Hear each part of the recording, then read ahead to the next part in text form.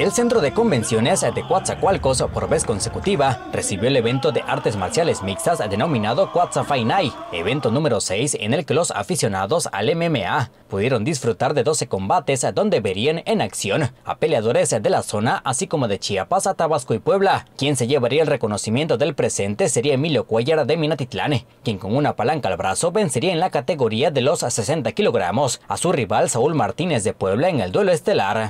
Este, sí, gracias a Dios nos vamos con la victoria en alto. Es mi primer pelea que hago en esta promotora, una muy buena promotora. Este, la gente se portó muy bien y pues eso es lo que motiva más que nada al peleador para salir a pues, dar lo mejor en, el octágono. Pues me voy muy contento, claro, a mi familia le, le encanta. Al principio pues me la vi dura, pero gracias a Dios salimos con ese en alto. Por otro lado, Pedro Enríquez de Coatzacoalcos habló acerca de su actuación en el octágono, en donde derrotaría en el primer asalto al tabasqueño Uriel Hernández. Y pues no, no, se, no se dio como esperado porque me buscó enseguida derribar, empezando el asalto, conecté nada más un, jab y enseguida buscó el derribe, defendí y, este, y pues finalicé con una guillotina. Por último, su organizador Cristian Reina de la Escuela Sport Center afirmó que iniciarán con los preparativos de la siguiente edición. Eh, si Dios quiere vamos a tener una cartelera excelente México contra Brasil, pero este, ya estamos preparando todo, ¿no?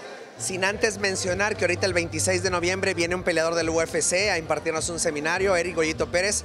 En la cámara Rodolfo de la Cruz, para más deportes, Enrique Martínez.